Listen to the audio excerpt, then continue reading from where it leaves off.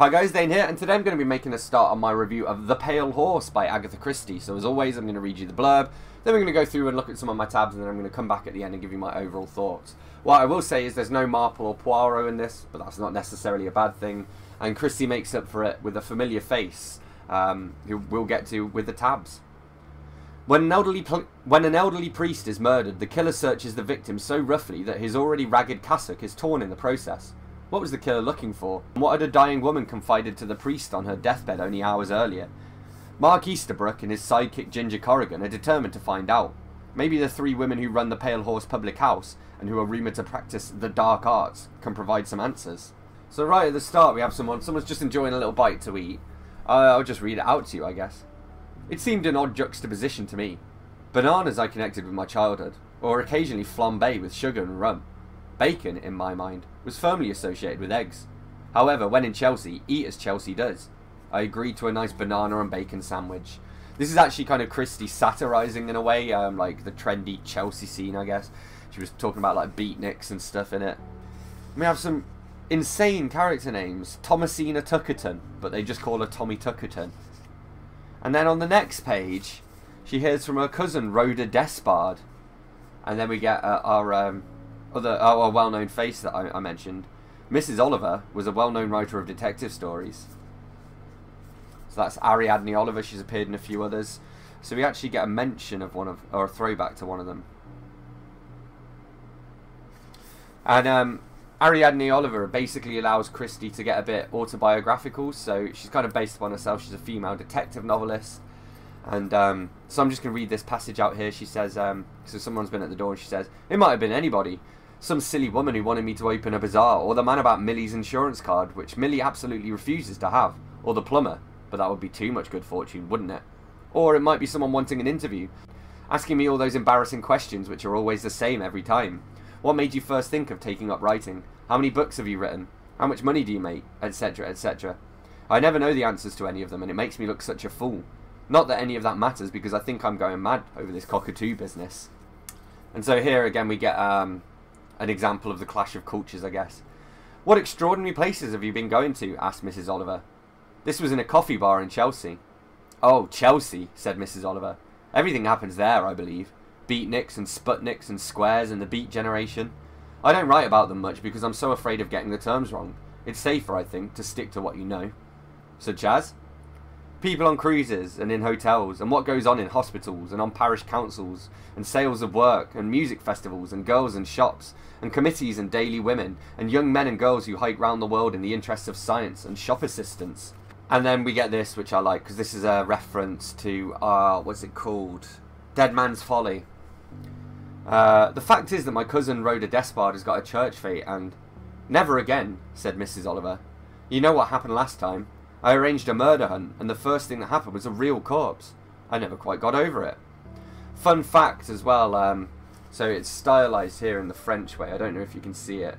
Um, and fête with the little hat over the um, the e. Basically, in French, they use that little symbol with a hat to say that a letter's missing um, because of how it's been sort of Frenchicized from Latin, basically.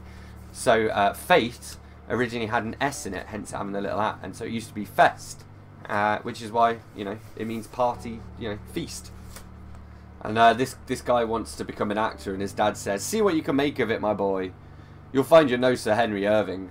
And uh, Henry Irving is who uh, Bram Stoker used to manage, very like famous actor of uh, the Victorian era. So I just thought it was cool to get a little little mention of him.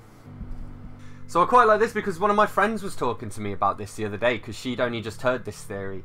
But I like how it was even outdated back in Christie's day. Um, didn't somebody called Bacon really write Shakespeare? asked Poppy.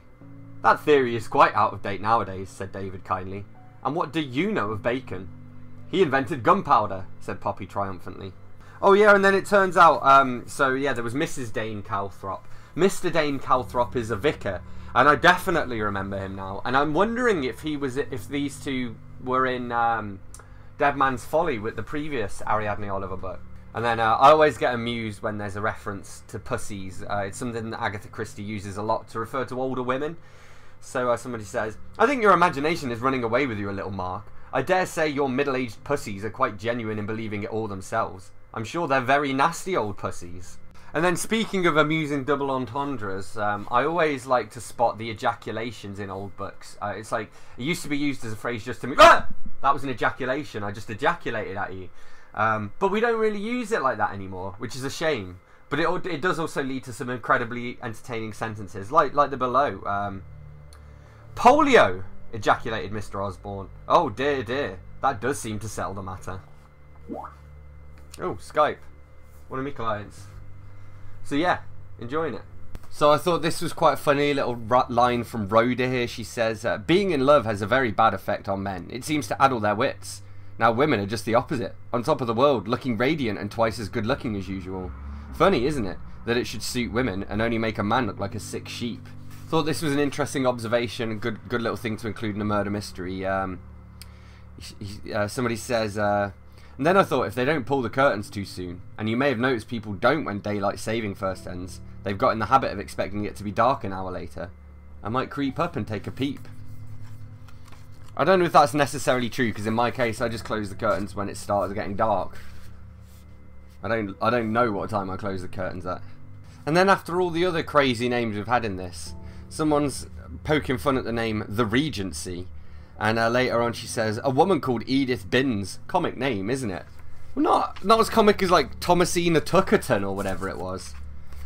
Yeah, overall, I did enjoy this book. I mean, it's Agatha Christie, so I always enjoy reading her stories. I like the way it had a feel of one of her like nursery rhyme mysteries almost. Uh, there was a little bit of supernatural and uh, mysticism to it, but not too much, and not so much that it ruined the story, which it really does. I think if you miss if you mix mysticism and supernatural and the occult with um, like crime, especially when it's like purported to be like true crime and like gritty crime. Um, but yeah, it doesn't have Miss Marple or Hercule Poirot in it, which might put you off. And definitely, actually, if you're new to Christie, it's probably not the best one to start. But I did enjoy it, and would say if you're exploring her back catalogue, definitely uh, check it out. The Pale Horse. I gave it a 3.75 out of 5.